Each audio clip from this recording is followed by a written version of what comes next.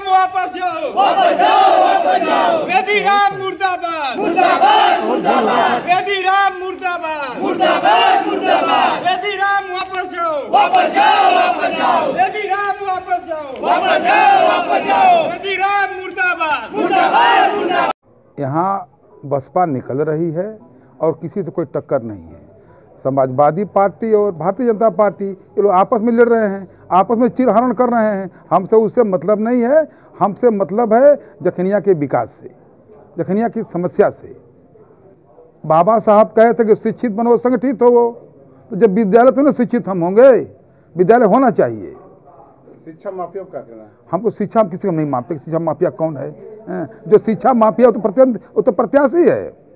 जो शिक्ष आप स्थानीय है कहा जा रहा है कि पैरासूट से प्रत्याशी आए हुए भाई अब हम क्या कहें उसके बारे में? जनता कह रही है हम कुछ नहीं कहेंगे उसके बारे में। जनता निर्णय देगी। जनता जानती है कि कौन पैरासूट से है कौन स्थानीय है कौन समाज सेवी है कौन जो है सेवा करने वाला है कौन किसी के दुख सुख में शरीक करने होने वाला है ये जनता जानती है। के बारे में मैं बहुत कुछ जानता हूँ कि उनके ऊपर चौवन चौवन लोग बताते हैं मुकदमा दायर है। और वह जो है रेलवे बोर्ड में जो है वो गैंग सैलवर का काम किए हैं। उन्होंने दूसरे लोगों की नौकरियों को मारने का काम किए हैं। हक उनका जो है छीनने का काम किए हैं। ऐसे प्रत्याशियों को जो हमारे से कई दूर से जो मंगा करके और हमारे यहाँ जो है स्थापित करना चाहते हैं यह कैसे संभव है? यहाँ के लोग कैसे बर्दाश्त करेंगे? किस पार्टी से हैं वो। वो जो है सुहवल देव समाजवादी पा, समाज पार्टी से हैं। भारतीय सुहवल देव समाज पार्टी समाज भारतीय पार्टी से भाजपा से।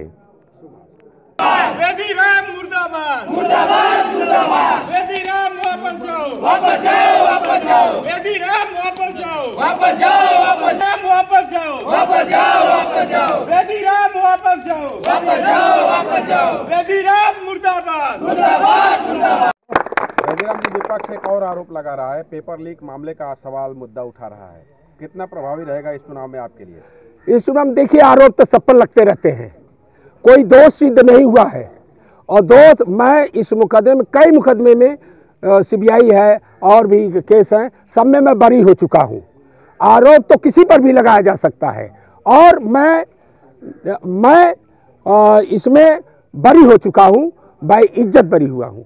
फिर भी कहना चाहेंगे आरोप तो किसी पर भी लगाया जा सकता है। सिद्ध करके दिखाओ ना। सिद्ध तो नहीं हुआ मैं बाइज्जत बरी हूँ। बेदीराम जी देखा जा रहा है कि इस क्षेत्र में आप चुनाव लड़ रहे हैं। जनता का सहयोग रोज़गार आपने दिलवाया है? रोज़गार जो है कई तरह के होते हैं। रोज़गार के तो काइंड ऑफ़ जो है रोज़गार तो बहुत होते हैं और किस तरह से रोजी रोटी चले, उस तरह का मैं दिलाऊँगा।